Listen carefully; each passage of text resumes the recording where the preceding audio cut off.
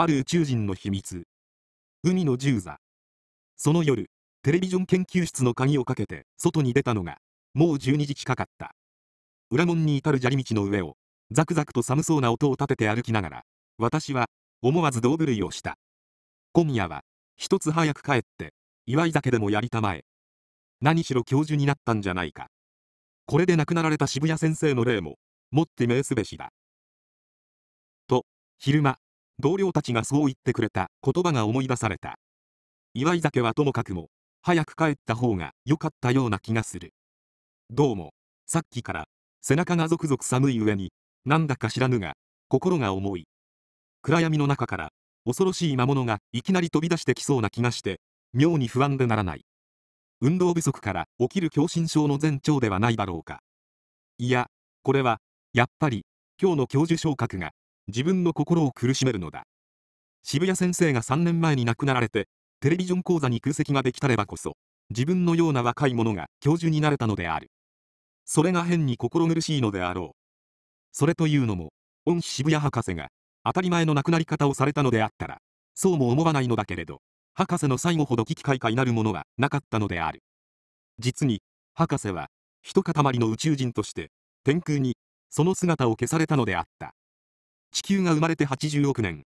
その間にどのくらい呼び正しい人間が生まれたか数えられないほど多いが宇宙人に化した人間はただ一人渋谷博士が数えられるだけである。やあ今お帰りでありますか。不意に声をかけたのは裏門を守る宿直の守衛だった。私は黙礼をして門をくぐった。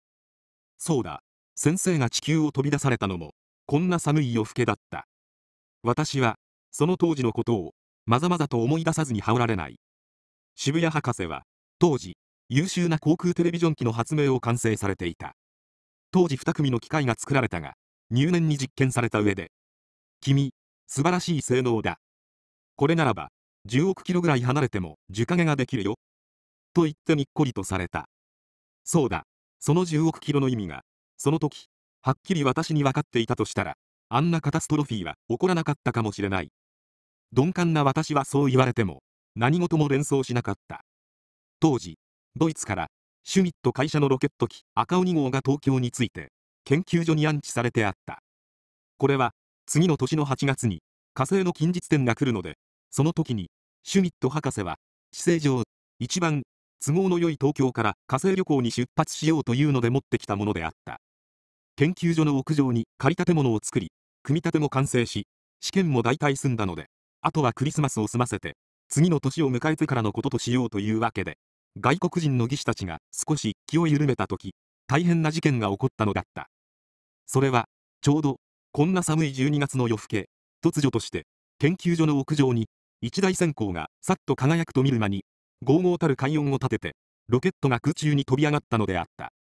付近の人々が顔色を変えて研究所の前に集まってきた時にはすでに遅くはるばるドイツから持ってきたロケットはすでに成層圏の辺りにかすかな発光の尾を残して暗淡たる宇宙に飛び去るところであった。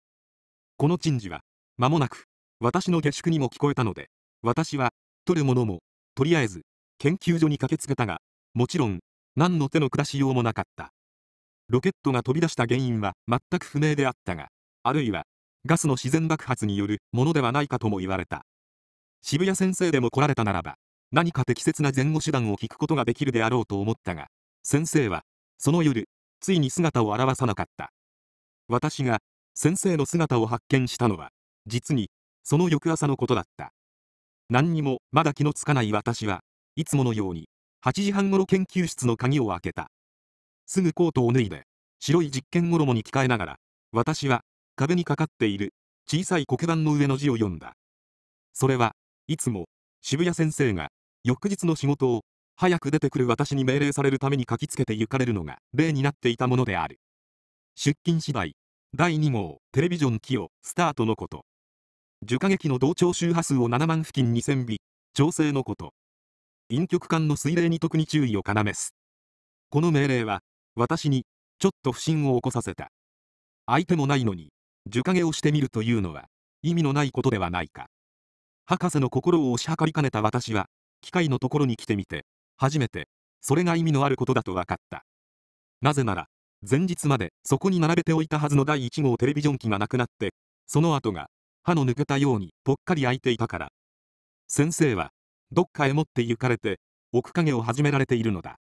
しかし、時間を書いて行かれないのは、先生らしくないことだ。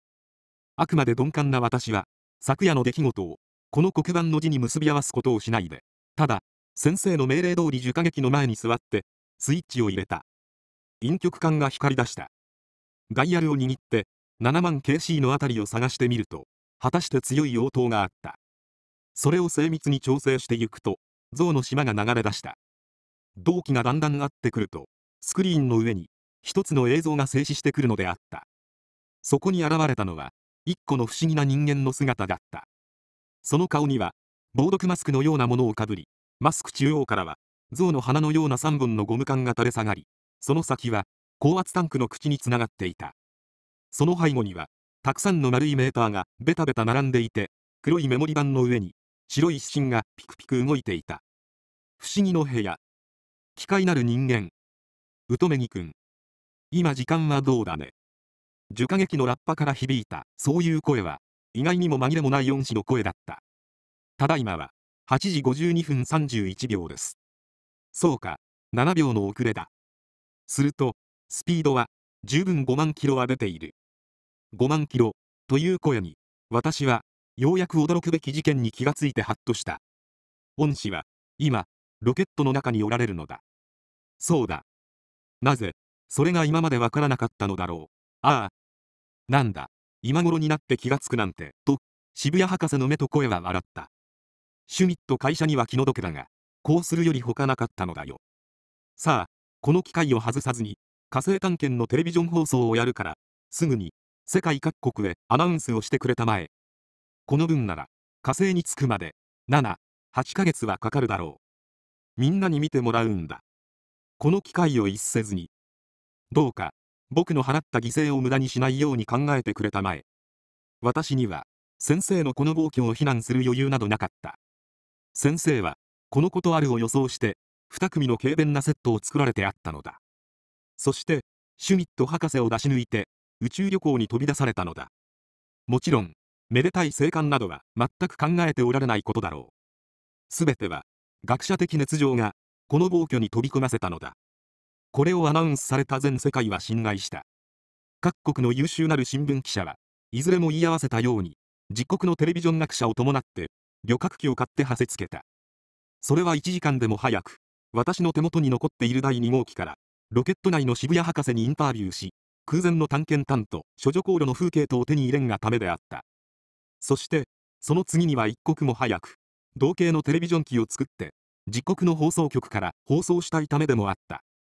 何しろ、計算によると、火星到着まで、7、8ヶ月も間があるので、これから至急に作れば大丈夫間に合うものと思われた。果たして、4ヶ月目には、各国各地いずれにも樹影装置が働き出した。全世界の目は渋谷博士の運転するロケットの上に集まっていた。しかし宇宙は銀座通りのように華やかではなく人々はようやくロケット赤鬼号からの報道が毎日あまり単調なのに飽き始めた。ちょうど満5ヶ月目になって世界の人々のあくびを一瞬にして止まらせるような一大珍事が出現した。それはロケット赤鬼号が故障を起こして宇宙にチューブラリンになってしまったことであった。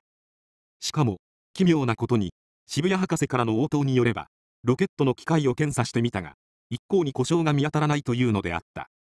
要するにチューブラリンになってしまったのはなぜだかわからないのであった。世界の天文学者と物理学者はその謎を解くことに夢中になった。やがてオランダの物理学者サール博士が週に先んじて飛躍的な解決をつけた。我が赤鬼号の空間停止の謎がついに解けたと博士は放送機の前で言う。それは赤鬼号が万有引力との中点に飛び込んでしまったからである。赤鬼号がその著しき質量を返じない限りこの停止状態は永遠に続くことであろう。世界は大きく信頼した。万有引力の中点。なるほどそんなものが考えられる。それは無人境の大地に開いている。深い歓声のようなものだ。一度落ちてしまえば救われることはまず不可能だそれから数日にわたって私はスクリーンの上に苦悩の色の濃くなってゆく恩師の顔をどんなに痛々しく眺めなければならなかったろう。乙女木君と博士はある朝、ふと私に呼びかけた。わしはいよいよ最後の努力をするつもりだ。私は実にいい手段を考えたのだ。しかし、私は永遠にこの奥過激の前から去らねばならないだろう。先生はどうされるのであろうか？私には全く見当がつかなかった。先生の歪んだ顔は、やがてスクリーンの上から消えた。はじめは軽いことに考えていたが、その時には一大異変が起こっていたのだ。号外放送。ただいま、赤鬼号は徐々に動き出しました。万歳、万歳。しかし、どうしたものか、渋谷博士の姿は見えません。しきりに信号を送っておりますが、全く応答がありません。と、JOAK は、全世界中継のラインに、この驚くべき発見を送り込んだ。そうだ、ロケットは徐々に動いてゆく。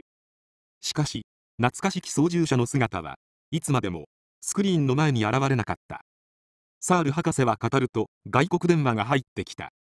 渋谷博士の最大の犠牲がロケットを再び推進させた。博士はおそらく機内にいないであろう。彼はロケットより身を捨てたのに違いない。ロケットから離れ去ることによってロケットに働く万有引力はその平行が破れ再び動き出したのだ。博士はついに生命を犠牲にしてロケットとテレビジョンとを生かし世界人類のために貢献しようと決心したのだこれから先五人が見るところの映像は博士の生命によって買われた無情の尊いものである操縦者の乗っていないロケットはジャイロコンパスの力を頼りにだんだんと火星に近づいていった。それは古い物語の中に現れてくる幽霊船のようであった。しかし現代の幽霊船は生きていた。いよいよ渋谷博士愛機の視野には火星の姿が映ってきた。有名な運河体がありありと現れてきた。世界中の人類は寝ることも食べることも忘れて渋谷式の樹下劇の前に並びこの前代未聞の見せ物に眺め入った。間もなく待望の火星人が姿を現すことだろう。だが意外なことが次の瞬間に起こった。映写中のフィルムがパサリと切断してしまったように樹下劇の上の映像はにわかにかき消されてしまった。それとともに音響を伝える電波も止まってしまった。おそらく火星の地表まであと数百キロメートルという近くまで行ったのに一体これはどうしたことか。それは今もってかの宇宙人と化し終わった渋谷博士の行方とともに解きえない謎である。私は看護師きらめく晴れ夜の天空を仰いで深い吐息をついたことだった。私には今一つの想像がある。それは火星人が早くもあの赤鬼号を見つけて火星上に落ちぬ先に分取ってしまったということだ。火星人は地球の人類よりやや劣っているらしいことは地球の方がロケットを先に飛ばしたことでもわかると思うがしかし数百キロの航空でロケットを分取る力のあるところから見るとおそらく西暦1950年頃の人類と同等の知識を持っているようにも思われる。私は今研究中のテレビジョン機を一日も早く完成したいと思う。それは目下のところでは火星人の手の届かない1万キロの上空から火星地上1センチのものを発見できるという驚異的性能を持ったものである。それができたならば人類は火星人に分取られることもなく至極安全に火星を偵察ができるはずである。我が地球と火星との相当は赤鬼号の訪問をきっかけとしてすでに始まっているのだ。この上は一刻も早く火星人の光線性を偵察して宇宙戦争に備える必要があるが私としては何を置いても宇宙人となっているはずの恩師の在りかをぜひとも自分の力で発見したいと思うのである。その上で私の苦しい気持ちは初めて朗らかになることだろう。私は常緑地帯を歩き続けながらその暗い葉隠れの隙間からキラキラする星座を仰いで深い呼吸をした。それは私の苦行を激励する恩師の慈悲深い瞳のように思われたのだった。